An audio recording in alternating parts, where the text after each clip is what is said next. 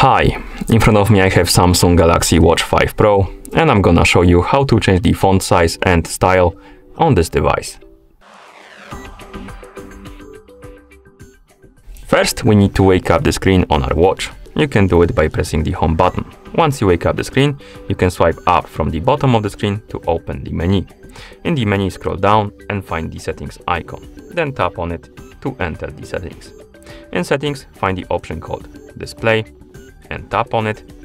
And here scroll down, find the option called uh, font. It's right here, or rather category font. And we have font style, uh, bold font, and font size. First, let's tap on the font style.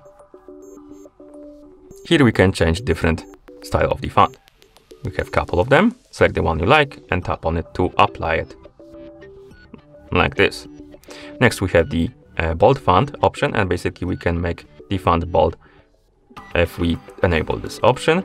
And the last option is font size and here we can adjust the size of the font, make it bigger or smaller, like that.